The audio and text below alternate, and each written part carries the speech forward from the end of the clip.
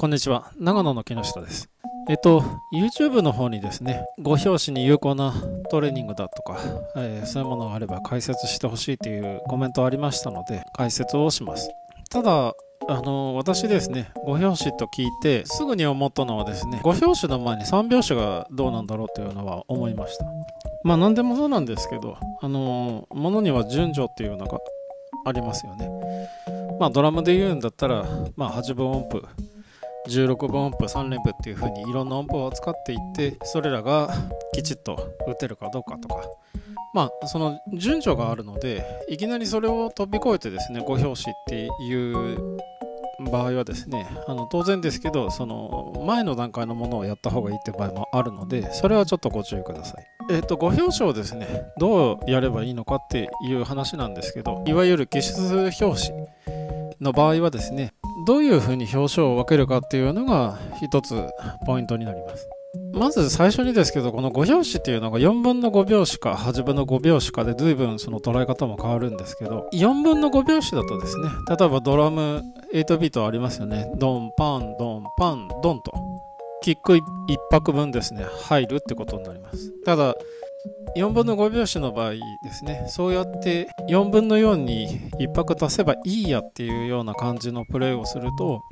聞いてる方からするとですねドンパンドンパンドンドンパンドンパンドンと明らかになんか変だなっていう感じになってきます。なのでその4分の4に1足せばいいやっていう感覚の人っていうのはセンスを疑われるってことですね。で大抵の場合はですね、えーと、例えば5拍子であれば2つに分けるんですよ。3拍子と2拍子とか。でその分け方もですね2が前に来るか後ろに来るかでまた聞いた感じもちょっと違うんですよ。で7拍子だったら4と3に分けるとか。9拍子だったら5と4に分けるとか。まあそういう風にですね大体半分に分けるんですよそれでトレーニングをしていくっていうことになるんですけど結局5にしても7にしてもですね3が入ってくるのでその3拍子のところのアプローチがどうかっていうのがちょっとしたポイントになるんですよっていう話なわけですね。ただまあここでは3拍子の話はしないのでまあ3拍子完璧っていうところで話を進めていきます。そうするとですねまあ3と2っていう風にプレイすることが多いかなとは思うんですけどまあいくつか私がリズム叩きます。一つはですね8分の5拍子の後ろの方にアクセントを持っていきます。ちょっとうんちくなんですけど奇数拍子変拍子の場合はですね1小節の長さがどうかっていうのが結構難しさになるんですよ。で通常我々ドラマっていうのは4分の4拍子と捉えてるので8分音符8個分8分の8を基準に考えて多いか少ないかで難しさが変わるんですよ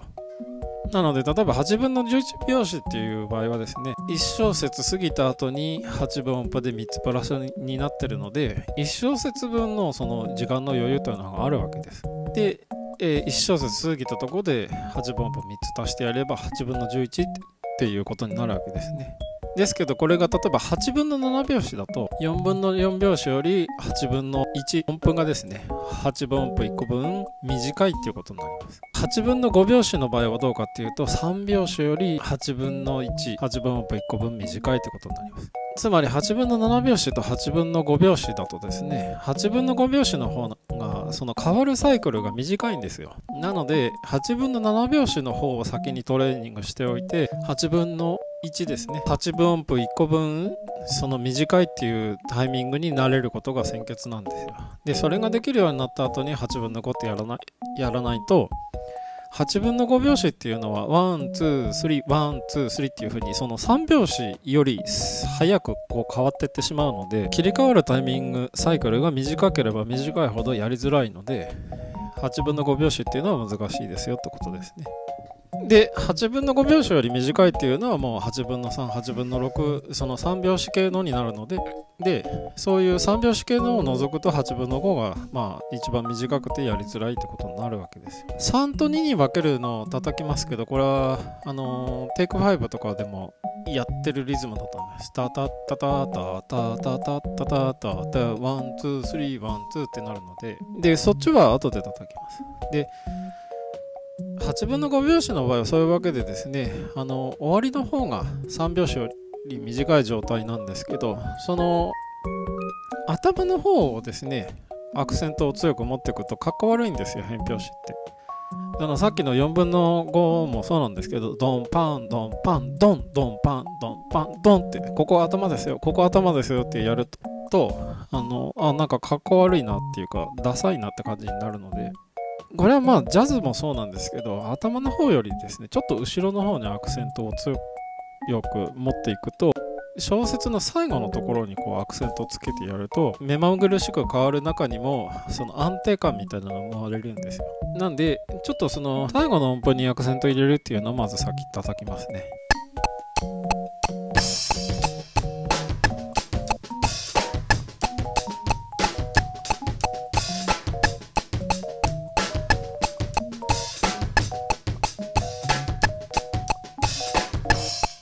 まあこういう風にですね、あのー、なるべくグルービーなものをプレイするとどしっとしていいと思うんですけど次はですね3拍子と、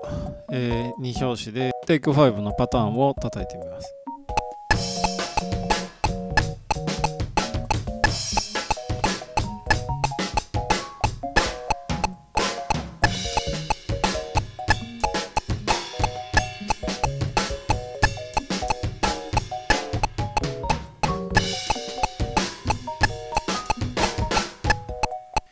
ちはですね、まあ、テイク5のリズムそのままなので、あの3拍子のところにですね、3拍2連のアクセントが入って、ツンパンタンタン、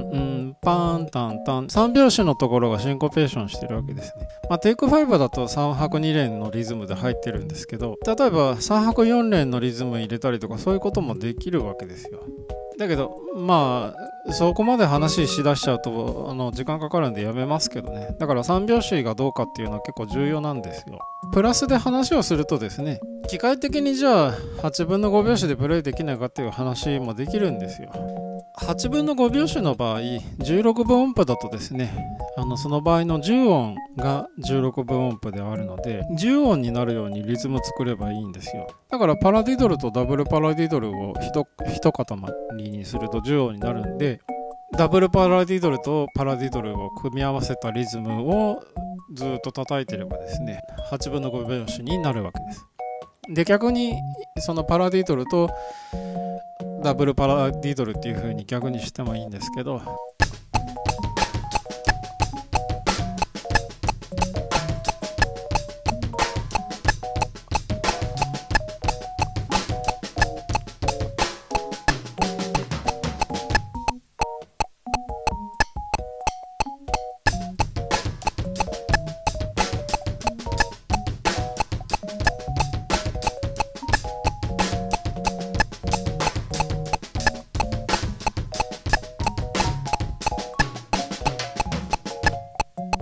結局ですね機械的にそうなるよっていう叩き方知ってた方がいいんですね。でまあそういうものでこう叩き続けるうちにあの体の中に8分の5っていうタイミング染みつくと思うんですけどただこれあの8分の7拍子をプレイしてる時に私気づいたんですけどね8分のいくつっていう表紙をプレイする時はですね大事なのはその8分の5のタイミングとか8分の7のタイミングとかっていうんじゃなくてですね8分の11個そのスリップできるかどうかっていう技術になってくるんですよ。なので私が一時期そのどういう練習をしてたのかっていうとですね4分の4拍子にクリックリックを出して自分だけ8分の7とか8分の5でプレイするんですよ。で慣れてきたらそこにフィルインだとか例えばドラムソロみたいなのを入れてそういうリズムが崩れないかどうかっていうので判断するんですね。ただそういうトレーニングを私がしてたのは多分あの今からですね20年ぐらい前の話になるのでもうその時以降ですね5拍子っていうのはずっとトレーニングもしてないです。じゃあちょっと見本でですね4分の4拍子出してあ自分だけ8分の5拍子でプレイします。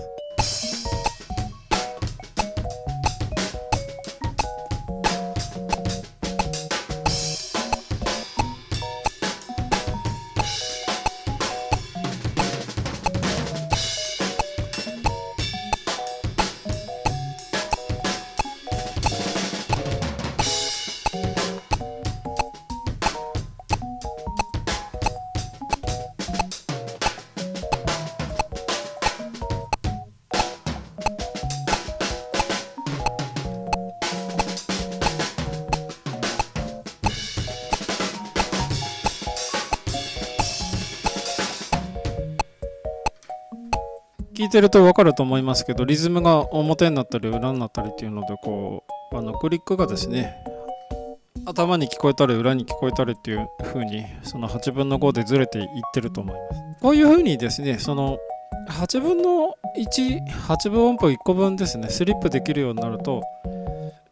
あの8分の7でも8分の5でもずらしたいなと思うところでですねドラムのリズムを裏に入れたり表に戻したりっていうことできるようになるんです。それはあの8分の7拍子やってる時に8分音符1個分ずらしたりとかっていうのは普通にできたので別段ですね8分の5拍子トレーニングする時もなんかこうやったっていうイメージはないんですよ。単にですねそのサイクルが短くなるのでスリップさせるタイミングがその短い間隔でやってくるっていうだけなんですね。ドラムソロの話とかまでしだしちゃうと時間かかるのでまあちょっと私の方でですね長く話さなくちゃちゃいけないような動画とかちょっと作る気は起こらないのでそれはちょっとご了承お願いいたします。今日はこれで失礼いたします。